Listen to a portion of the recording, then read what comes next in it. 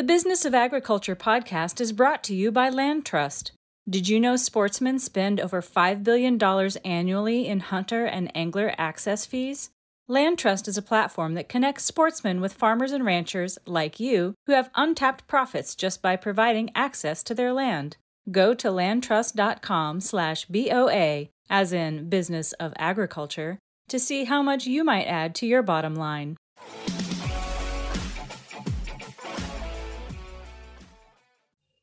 Greetings and welcome to the Business of Agriculture podcast. It's me, your host, Damian Mason, with a great show for you today. We're talking about the next generation of agriculture. We're talking about the kids, the youth, the people that we are going to be reliant upon for our food and fiber and fuel production in a decade or so. We're talking to Brice McIntosh. Brice is a school teacher, a VO ag instructor, if you will, in Wheatland, Wyoming. Uh, Brice is going to be joining us to talk about all things future, as it turns out, uh, what we're teaching, what we aren't teaching, what the kids are doing, and what the whole thing looks like based on them. Brice, welcome to the show. Thank you. Glad to be here. I'm glad you're here. So here's the deal, uh, dear listener and viewer. And I do say viewer because, as I always remind you, that for the last year or so, we have been not just recording this as an audio. You can go get this podcast wherever you get your podcast SoundCloud, Stitcher, iTunes, whatever. You also can go online and watch it or just listen to it. It's the Damian Mason channel. Just go on YouTube and type in Damian Mason channel. Please hit subscribe. It will help me get more viewership. And you know what? It doesn't cost you a dime. You can see all my other stuff, my Do Business Better podcast, my ag commentary, and even some of my old videos. Hell, if you're really bored, you can find some of my old comedy videos from when I was a Bill Clinton impersonator on the Damian Mason channel. So now that I've told you all about that, I also need to remind you that this episode has a, a fantastic sponsor. It's a company that's been with me for over years, Harvest Profit. Harvest Profit is a software solution for agricultural enterprises. If you need software to manage the millions of dollars of capital you have, the inflows, the outflows, the acres, the my God, it's beyond using a Pioneer seed corn pen pad in your truck, right? Let's get some software. Go to harvestprofit.com to see if you can find a software solution for your agricultural enterprise. All right, Brice, I teed this up. I said what we're going to talk about. Here's the deal our listeners and viewers need to understand. You know, I, I deliver presentations at ag events all over the North America, and I was had the pleasure to be in Wyoming in April at the FFA convention. They got like a thousand kids. There's only half a million people in the whole freaking state, but they got like a thousand kids in this auditorium in Cheyenne. FFA. Those kids stood and put their hands on their hearts during the national anthem, said the Pledge of Allegiance. That made you tear up because there's something really, really good about our future as it comes out. As it turns out, it's the future of our business, and it's because we're raising them right still in agriculture. So I started talking to Brice. I said, you know, I'd like Brice, I'd like you to come on my podcast and talk about things that you see and what I see. So here's the thing. I get excited when I see these kids. I was very proud. I think people like you are doing a great job. As much as I, I gripe about things like the teachers' unions trying to keep the kids out of school, it doesn't happen in Wyoming. It doesn't happen in agriculture. So we got good people like you. So anyway, tell me a little bit about your background. Um, well, first of all, thanks for having me. Yeah. Um, I am 34 years old. I've been teaching for the past 10 years. I've been kind of around the state of Wyoming. Um, I've also worked in a career field other than teaching because I know the old saying, you know, those who can't teach. Um, so I actually went out and, and actually got my hands dirty for a few years. But I grew up in agriculture. Agriculture is my passion. I love it. Um, I grew up on a 240 acre alfalfa ranch farm, I should say.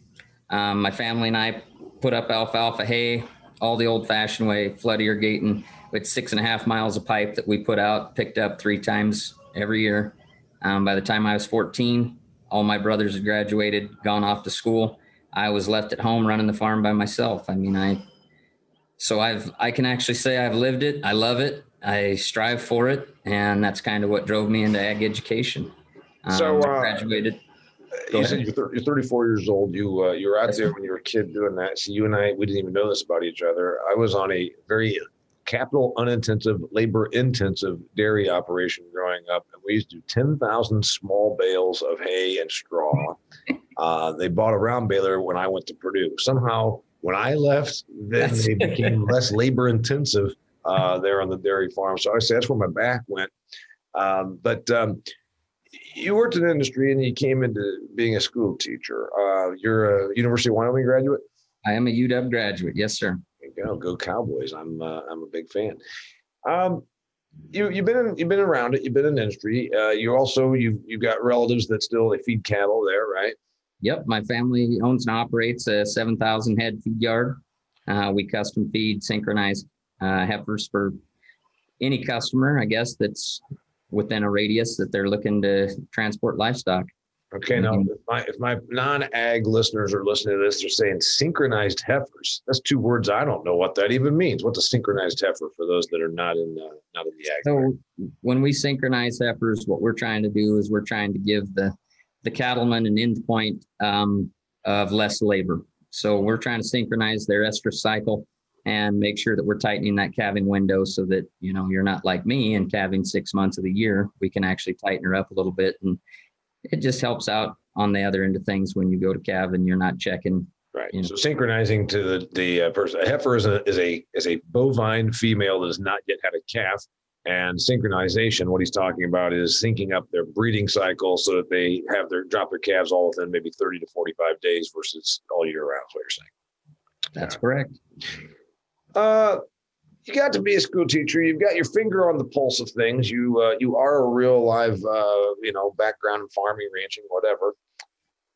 And then you're you're a VOAG instructor.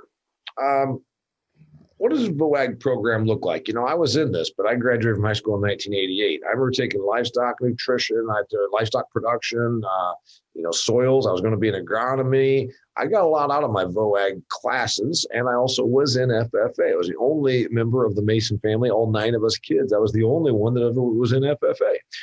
What's it look like now that it maybe didn't look like in 1987? Um, you know, I think I could probably sum that up with one word unique. I would say that ag programs across the nation now are becoming so individualized and unique. And truly, the way I would describe it is I try to meet my community's needs.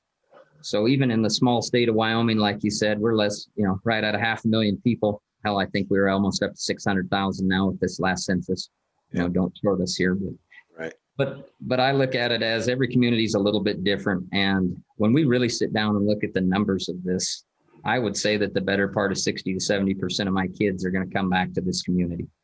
So if I can give them skills that are really relevant to here, that's where I start with my program. Um, but I also don't want to limit them to, hey, what if you end up in Florida? What if you end up in Alaska, Maine? So I would say let's start with saying that every program is going to be quite a bit different. But I'm also going to say that it probably hasn't changed a lot from 1987 it's it's still kind of the same principles. What we're trying to do though is advance it as much as we can and try to keep up with the times. Um, my my current program has uh, basically we start kids off with breeds of livestock. We start with terminology of livestock. So you know we're teaching kids just hey what what is livestock? What are our major species? What are breeds of livestock? What are our uh, sexes of livestock called within the industry? And then we go on to do some animal science and plant science, where we actually break down and we teach quite a lot of biological principles in my animal science class, a lot of anatomy and physiology. Mm-hmm. Um, we go to plant science, and it's kind of the same thing. I incorporate agronomy in there. We move up into ag business, which is a what I kind of pride my program on. Um, I try to make sure that my kids can leave here with some real world skills. That's that's the basis of ag education for me is I want you ready for life more than what you learn in my class. Let's give you some skills that you can actually walk out the door and, and put to use. And that business class to me, every kid in the nation should probably have to take something like that. And if they're not, then I think that's where we're going wrong. Yeah, uh, I'd, I'd agree with that. Um, one thing that uh, you and I talked about, that's why I wanted to get you on here, is because um, you're you're you're a little forward thinking. Um, you're you're not old and stuck in your ways. You're a young guy, but also you and I both agreed that some of the stuff we do in ag we're still a little yesteryear, and um, by that I mean it's not 1950s anymore. Um, you know, we've always focused on production. That's important. It's what we do in ag. But the reality is, when my father took Purdue short course, or even in the 1980s when I'm there in VOAG classes, it was about, damn, do you think we could ever get to 200 bushel corn?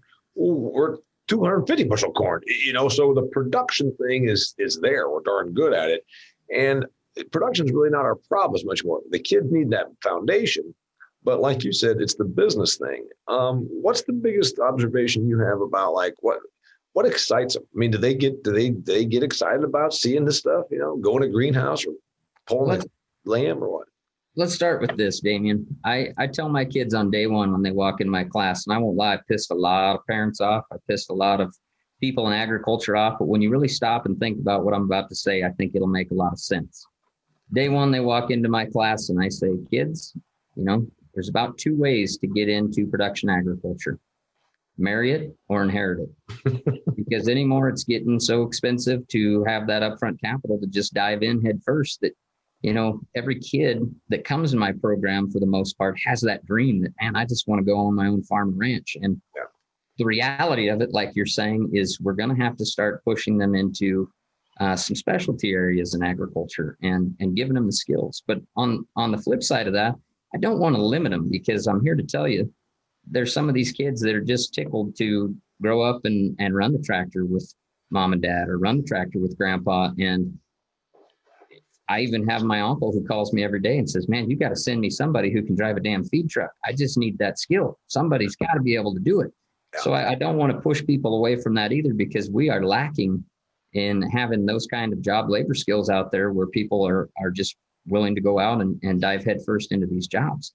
So yeah, it's it's interesting because you know, um, like uh, Purdue, where I went uh, a couple of years ago, sent out a thing that said for the first time ever, a majority of the kids in the School of Agriculture are not from a farm background. Clearly, back in the old days, if you were in the School of Agriculture, 80, 90% chance you were from a farm. Well, there's less kids per married couple uh, or divorced couple, whatever. There's less kids. Uh, there's less farms because we've gotten so darn good at consolidation through, you know, technological innovation. And so there's a, like you said, there's a, how many of your kids are not actually from the farm and ranch? There are 20% of your kids that aren't? I would go on to, and say the better part of 30 to 40, even in a small town, rural Wyoming. I mean, yeah. you know, face it anymore, less than 1% of people are, are involved directly in production agriculture. And when we look at those statistics, even in a small town, it proves to be pretty true. You have your, your farm and ranch kids and you know, I'm blessed to have them. Um, but I also like to promote a lot of this agriculture stuff to my kids that don't have a clue about it. And it's really hard to teach these kids the advanced stuff or, hey, let's take it to a niche market without it, giving them that base of what is production ag. So, I mean, we do still have to have to teach that foundation principles because it's really hard for me to tell a kid what precision agriculture is without saying, here's what agriculture is. Yeah. So that's that's the thing is that while I'm on the one hand saying we don't need to, to we don't necessarily need kids to just know how to uh, you know uh, drive a corn planter, but the reality is if you don't know that, you're not going to get to the next level, the next level, the next level. Um, so the basics. Uh, you got these kids and you said one of the last classes, so I'm assuming this is more like juniors and seniors take the ag business stuff. And the reality is, it's business no matter what. So whether they end up working for the uh, local ag industry or whether they end up in any other career, they've got the business. So tell me about ag business. What's that look like? Ag business. Uh, well, we start with financial statements. So we're teaching kids how to set up a balance sheet. Um, we're teaching them what a cash flow is.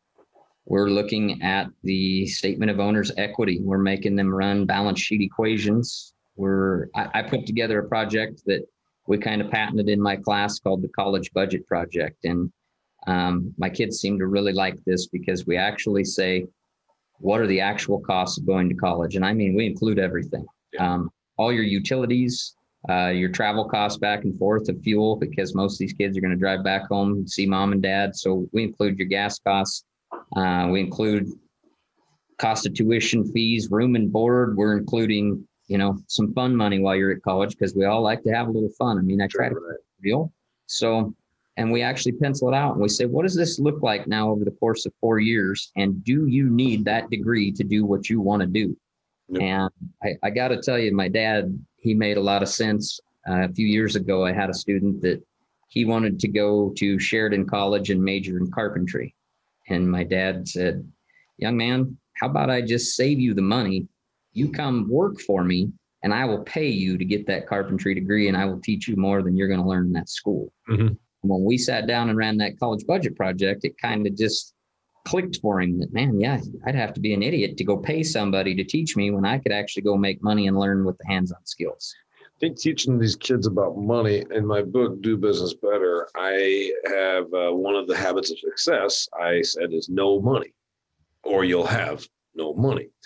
And I remember putting this chapter together, and I had a friend of mine proof it. And I said, I think this is really beneath uh, people. It almost might be insulting. He said, Well, the average household has $14,000 of credit card debt, and the average net worth in America is like a ridiculously low amount. He said, So I don't think that you're beneath people when you're explaining the fundamentals of money and business, like you just said. That the young folks that you're working with, you're saying, All right, what's a balance sheet? Uh, you know, I've had grown adults that I that are in business, and I said, "So, what's your balance sheet look like?" And they said, uh, "It's just the thing with the assets on one side and the liabilities on the other." uh, I'm not sure they knew what those two words were either.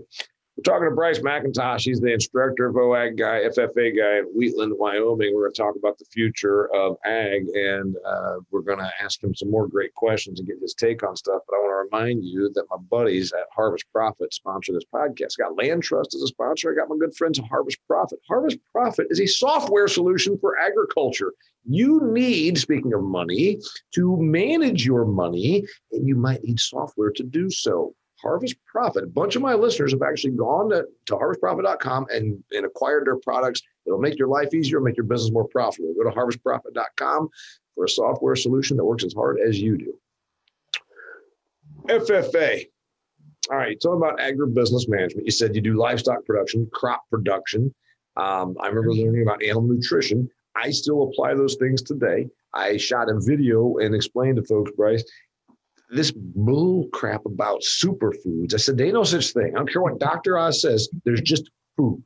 And I said, I learned it in livestock nutrition, in livestock production. You've got the six elements of nutrition, right? And I think the average person doesn't know this either carbohydrates, fat, protein, vitamins, mineral, water. That's it. Nothing super.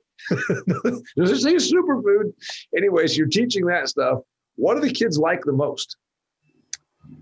honestly, I think we, I, I would say tends uh, kids tend to follow kind of what the ag teacher is passionate about. My big right. passion is reproduction. Um, I've been playing around with embryo transfer and artificial insemination here for the past few years. We also run a kind of a show steer operation, um, a couple buddies and I. And so embryo transfers become a pretty big passion of mine. So we get pretty in depth into that. And we bring some microscopes in and we thaw out some semen and check it out under microscope. We actually look at some embryos under a microscope and then we actually go do an embryo transfer process at, at our place where we set up and have the doc come down and he's teaching the kids kind of the process and and that seems to really excite them. Um, and believe it or not, you know the business side of things is really starting to excite kids. Yeah, that's um, good. That's that's that's the that's the part that I'm excited about. By the way, I'm I'm not as excited now that I'm running this in my head the guy that's teaching our future is also into show steers. And that means, ladies and gentlemen, that he spends $10,000 for a steer and to take it, drive it around the countryside and win a 30 cent ribbon. So you always got to wonder about these livestock uh, uh, show people. The show pig people might be more wacky than the show steer people. I didn't think that was possible. And they're none of them are as wacky as horse show people. We know that, right? Now we got to back up there. See, this is where I took that corner and went into the niche market of producing them. I don't show them. I raise them and sell them. yeah. Uh, I always made the crack that uh, when you think of these livestock show people, Brice, um, they drag their ten thousand dollar steer all around the countryside in a fifty thousand dollar trailer. You walk in and have a guy that's uh, chewing Copenhagen and dropped out of junior college judge and assess whether or not you are a successful show steer person. It's always remarkable that the judges in these things, like, yeah, I slept in my truck last night. The show steer people, the judges, it's like they've uh, they, they generally live in a pickup truck and they ever notice a bunch of them own like a fourth of a cow somewhere or something like yeah i'm a quarter owner of uh of, of that, that. Uh, i wouldn't say all of them i know some pretty good ones that uh i've actually been able to be become pretty good friends with. They're now professors at universities and sure. and doing well. So I mean, I, I know. Do you judge? Are you, are you a, do you do livestock judging? I do not. Not I. I mean, I coach it, but I don't judge any shows. No, sir. I took it just enough in high school ag class that if you brought a, a, production hog and then a show hog out, I could tell you which one was which. But I'm not really uh, these people that can see all the minor differences. Qualified. um, tomorrow, what, what kind of tomorrow stuff? You know, organic wasn't really a thing at 30 some years ago when I was sitting in that classroom. Um, what what kind of stuff? What kind of tomorrow stuff are you exposing the kids to? One of our latest and greatest things is drones in agriculture. Um, my Perkins coordinator, she kind of forced this down my throat because I'm pretty old fashioned and I didn't like to just experiment with new technology as much as I used to. It's kind of funny. I used to listen to my dad complain about it. Now here I am going, damn it. I, I last thing I want to do is computer work or drone stuff, but we've actually started to have a little fun with it. And we're actually starting to do some crop mapping. And these drones, I think, you know, kind of have their place. We're actually having a class um, present a marketing plan on adding a drone to a local um, weed and pest guy here. He runs an operation, teaches at the school, sprays weeds on the side.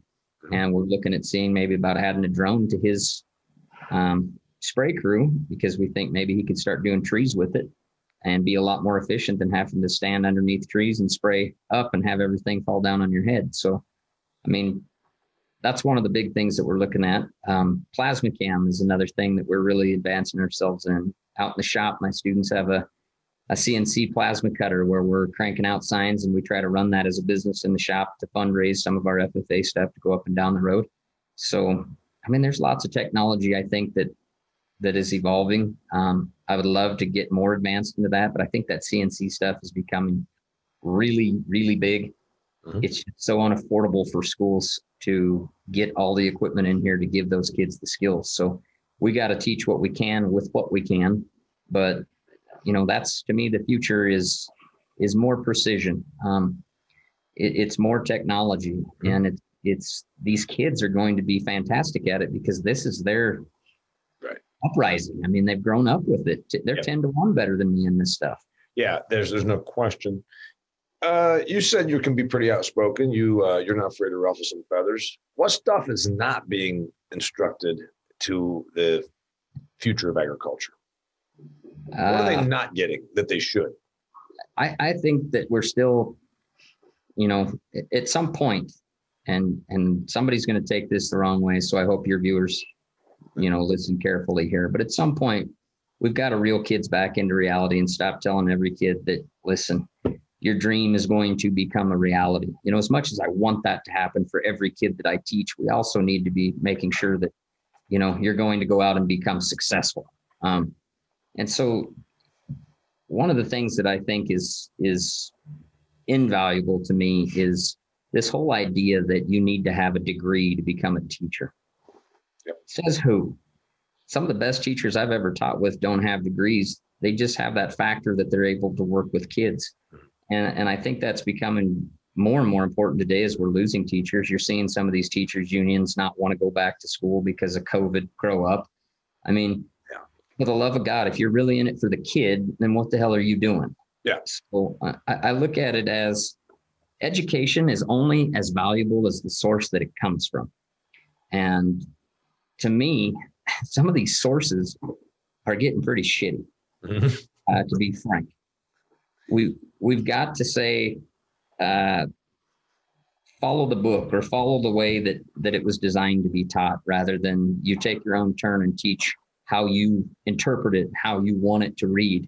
Mm-hmm. And I think when we can start doing that in every field of education, then we start getting a lot stronger in education as a country.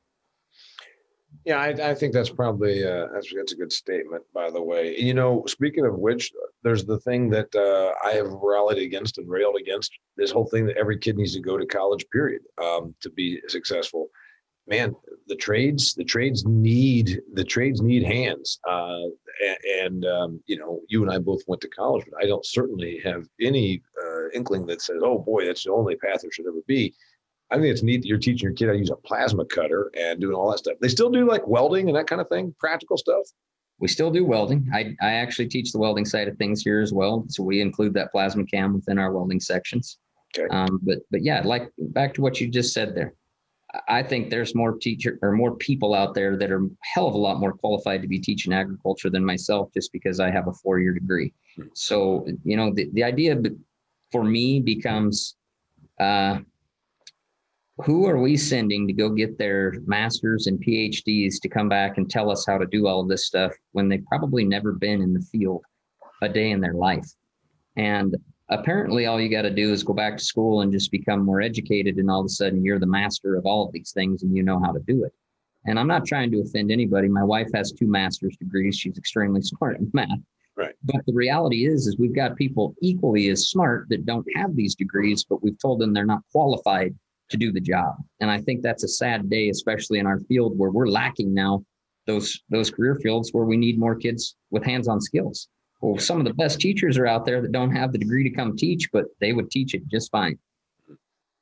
Yeah, I, I think there's uh, that's absolutely dead on, and uh, and and you know entrepreneurialism. I haven't had a real job for 27 years, but I've always had uh, you know different things that uh, are making me money, and uh, I, I made the point in my book that I, sat in on an entrepreneur class at the high school level, and the person that was directing it had never been in in business and in, in, her life. And uh, it's not nothing mean. It's just that that's that's who was teaching the class. And so um, uh, that happened. So you have, have an opinion about this too, I'm sure. All these FFA kids, they're not going to be in production agriculture, but that's fine. Still a tremendous amount of stuff. And I saw those kids getting their recognitions for all the competitions they do and all that. But we do have this thing that we create a lot of in ag. Um, then they want to become ag communicators and ag advocates. I've been called an advocate, and I've said, please don't refer to me as that because that is not a word. Also, it's overused. Passionate advocates. What do you think? I'm going to start with saying I think that there's a place in agriculture for it. But I'm also going to say I don't agree that we should just start cranking kids out and being these advocates. Um, you know, let's let's talk about this. We've got 600,000 people in the state of Wyoming, and of those, I would bet you probably 30 to 40 percent are taking an ag class and going through it. Let's let's take a look at what New York has. Mm-hmm. You know, and, and so everybody wants to say, well, let's be an advocate and let's reach these people. And you and I got to talking at state convention about this. That's all great, but we're probably advocating to the same type of people who have already heard the story. So, how do we get the story to the millions of people in New York City, in California, in Florida, in these places where they don't understand agriculture is what we need to focus on. And, and when you, you know, the more I think about this question, when you said, what are we not teaching? We're probably not teaching a basic agriculture class to those bigger states that really need a foundation principle of where their food and fiber comes from so that they can just have an idea of growing up and, and like I say, it's as good as the source. So we need good ag teachers to teach that class yep. to teach them how it's actually done and not the way perception sees. Yeah, that would be an amazing thing. It's a battle we have, and, and you and I both agree on this because I stated a long time ago. I used to be out there on social media telling ag people about the wonderful things about ag. And it dawned on me I'm doing what I always tell them not to do. I'm preaching to the choir. So now I've changed my focus more about here's the problem, here's what we got. I'm bringing the information to them instead of being rah rah. Like I'm not going to be a downer. I'm just going to tell you the reality out here because you got enough people advocating on social media telling you, and we're farmers, we're good. Like, okay, great. You just told a bunch of people you know, like I always said that if ag was a person, that'd be the crazy guy on a park bench muttering to himself because we talk to ourselves all the freaking time. We need to teach more ag. I agree with that. Um, we need to have uh, one, just one semester that the masses in the suburbs of Chicago could learn about. That would be fantastic. I don't know that's going to happen. What are we getting wrong with the university level?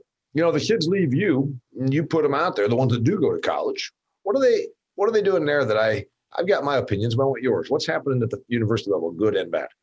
Well, I, I think it kind of depends on the university again. I think a lot of these land grant universities are are shoving a lot of research down teachers' throats, and I think there's a lot of teachers who could do a phenomenal job if their administration would just sit back and say teach, but instead they are forced to do research for the university and publish papers and research for them. It's it becomes the point of are we serving the kid or are we serving the university? And to me, if we're trying to better the education in the United States of America, it has to be focused on the kid. And that's where I think we're probably getting it wrong. Um, I know the University of Wyoming, I'm going to give her a shout out real fast. I think that professor there is doing a hell of a job. She's done nothing but good things since she took the program on. Uh, she's raising numbers. She's educating. The, the school, you're talking about the school of school of ag at School of Ag Ed, correct. And so I think she's doing some good things there, cranking out more ag teachers and and quality ag teachers, I will say. So I think again, it just depends on the program. Um, but let me ask you this, Damian. Uh, okay, you, you want to go to the university and get an animal science degree. What are you going to do with it other than become a vet or maybe take some of that stuff back home and, and apply it to to your place? I mean, is that something that we could teach in high school ag class where you got enough of it to feel successful? Or do you need to go get that four year degree? So, yeah. You know, I, I agree. A friend of mine has a daughter that's going to go to the university uh, to my where I went and pursue animal science. And I said, become a vet? No, probably not. Maybe like something in animal care. And I said, well, okay, animal vet assistant. But the point is, um, besides that, I have a brother-in-law with a degree in animal science. He was a hog farmer. Now he's a real estate appraiser. I mean, so it seems to be um, that we've got plenty of them. One thing back to your statement, I think the land grant university system is fantastic. I wrote about it in my book, how amazing the land grant system is. But I'm afraid that some of these institutions have lost sight of their uh, what they were incarnated to do, what their what their vision was in the 1860s when the whole thing was put together. It was uh, you know in pursuit of uh, the uh, you know the engineering and, and agricultural uh, sciences, and um, it seems like some of those universities are like you said just chasing research dollars. Um, what's good about today's young ag people? What's good about them? I saw them. I was excited to see them there. Um, I, I think they have a lot of confidence. I met another Damian Mason, in fact, spelled like mine, if I'm not mistaken, who uh, who uh, is, is in ag in Wyoming. What do you see that's good that excites you about the future? I would say that it excites me that there's still parents out there raising their kids with work ethic, with compassion, with motivation and the, that drive to go get things done. Um, I've said it a million times. You couldn't pay me to be a math teacher or a science teacher. Um, my heart's in ag because not only that's what I love, but those are the type of kids that I really enjoy. Um, what are the kids lacking? When and, and, it's not in any way picking on any of them. What what is it? Is it are they lacking from their upbringing, or are they lacking that we're not doing right? What's what's what's lacking? one one of the things that drives me the most nuts is the the technology that always has to be at their hands for that instant gratification piece. Um, sometimes we just need to set those things down and learn that we've got a job to do, and that that's probably the driving force in my class that I see a lot of. Where I say, guys, I, you got to put those things up. I know that it's gratifying to talk to your buddies and and snap them and whatever it is that you do, but it's disrespectful and we've got to learn that hey when you come we're going to treat this just like a job you're here from basically 8 o'clock to 3.30 so for 8 to 3.30 i need you to treat this like a job because we do kind of a survey when we send our kids out from our career field and we say you know what skills do you wish kids had what skills do you see that they do have and what are some things that we need to be changing and always on that survey it's they can't put their phones up and work yeah. And I was really impressed and standing in front of a thousand of these kids in April doing a presentation. I did not see any phones on. And I know that there's somebody that uh, made that rule, but if you were in front of a thousand high school kids in any other setting, they would all be on their phones. I, I agree with that. Um, I think that uh, when I, you know, I've got nieces and nephews, I pay attention. It seems like there's um, the, the thing that I would say is being a farm kid, I knew how to do a lot of stuff you know, I still know how to do a lot of stuff. I, I, am not a mechanic, but I can mechanic my way off off a desert island. You know, I'm not a painter, but by God, I can paint. You know, I can do a lot of these things. And um, since the kids don't have that experience, they tend to be really good at doing stuff with their thumbs, but they're not really broad based. And so that's where I think a program like yours is real helpful because you're exposing them to that. What are we not covered that we need to cover when we're talking about the future of ag from your perspective? you know, I I really do believe that the future of ag's looking bright. I know that people people get depressed and people get looking down on things. And I'm here to tell you, I've cranked out some really good kids, and and to me, the future actually looks really bright. Um, I've got kids that come in motivated every day to be in my class. They're excited to learn. They're going on to universities or going straight out into the field of agriculture, and they're going to be leaders for tomorrow.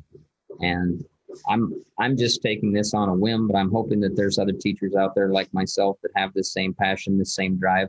And if they do, I'm not fearful of agriculture tomorrow at all. Yeah, um, I, I, I agree with that assessment, and um, I, like I said, I think they do need hands-on stuff. Uh, I, I think that the tough part is that we need to get the, you know, I think that they need to get a little dirty and they need to get their hands on some stuff. But I feel pretty confident about the whole thing too. I, I wish uh, there was a way that we could, in, in lieu of all of this, let's go get a four-year degree. I wish there was a way we could set up more internships or more uh, paid placements to take kids directly after high school and get them excited about something. You know, hey, you think this farming thing's all it's cracked up to be? Let's take you over here and get you paid for two years. And if you don't like it, well, you're not out sixty thousand dollars of a college degree and you just made the decision right there that hey this maybe isn't for you and I, I just don't know sometimes it gets hard to pay these kids that would be the other thing is their their expectations sometimes are just a little bit high and and again to be frank sometimes we just got to learn that you got to be the bitch before you can be the boss yeah well, high expectations is probably not a bad thing. It's actually it's it's if it's drive uh, and ambition toward that, it's one thing. But if it's expectation um, that uh, is uh, sort of like I'm owed this, then that's always a bad thing. So, um, I really appreciate you being on here, giving us a little glimpse because you know some of these people are listening to this, their kids are done, gone, and raised, and all that. And they're like, what do what do things look like from uh, from your perspective out there in Wheatland, Wyoming? His name is Brice McIntosh if somebody has a question, what do they got to do? Email you, find you at Wheatland High School? They can email me. They can, uh, yeah, I probably don't want to throw my phone number out there. Nah, I wouldn't do that. Text, but Brice Mac. Anytime. Brice, Brice Mac 5. Brice Mac 5. That's Brice with an I, Mac 5 at yahoo.com. Um, because there might be somebody that also wants to be a Vo-Ag teacher and maybe wants to ask you what that's like. You know, we just had a student teacher this last semester from Oklahoma State. Um, we were supposed to get her on here, and I think she's going to do a fantastic job. That that also is promising. That tells me that the future is looking good because they're cranking out quality teachers. Um, so so that was exciting to have her for a semester. The kids seemed to love her. She brought a different perspective, being from you know an Oklahoma college versus a Wyoming college. She was able to teach a few things a little different than I was, and it was good. So yeah, it, it is good, and that was uh, uh, I, I enjoyed meeting her as well. So, uh, and now she's now you, you got to be back to being on your own. You don't have your student teacher anymore. Yep. Yeah. All right. His name is Brice McIntosh. My name is Damian Mason. Land Trust and Harvest Profit. Harvest Profit, again, software solution. You need the software to run your business like a business. We talked about money and business. Brice is teaching it to his young people. You know what? They need to also understand that business is supposed to make a profit. Get yourself the software solution that works as hard as you do. Go to harvestprofit.com. See if they have a product that will fit your needs. I'm sure they do. Thanks for being on here, Brice. Thanks for having me. I appreciate it. Appreciate your insight. Maybe we'll do it again in a couple of years when you can tell me what's new in the world of uh, Vo-Ag. And you know what, folks, do get excited. It's our yeah. future, right? It's our future. We need these. We need these people to fill our roles and our jobs in another few years. And, and Brice is preparing them right now. It's like I tell everybody, you know, it's like the election even if your candidate didn't win, you still got to want them to do good. And it's just like our future of agriculture. Yep. Even if you don't maybe believe in your heart that we're headed the right direction, you still got to want them to do good. And I think things will happen. So yeah, and we need and we need about them. And, and we and we need them. You know, we, we need these roles filled. So all right. Thanks for being on here, buddy. Thanks for having me. Till next time, it's the business of agriculture. Thank you for tuning into the Business of Agriculture podcast, sponsored by Land Trust. Land Trust partners with farmers and ranchers to capture pure profit from sportsmen seeking new experiences and places to hunt and fish. Land Trust built the platform and does the marketing. You maintain 100% control of access and activities, and you set the rules. There's no cost or obligation when you list, and the next 10 Business of Agriculture listeners who go to landtrust.com/boa are eligible for a gift worth over $2,000. Bye.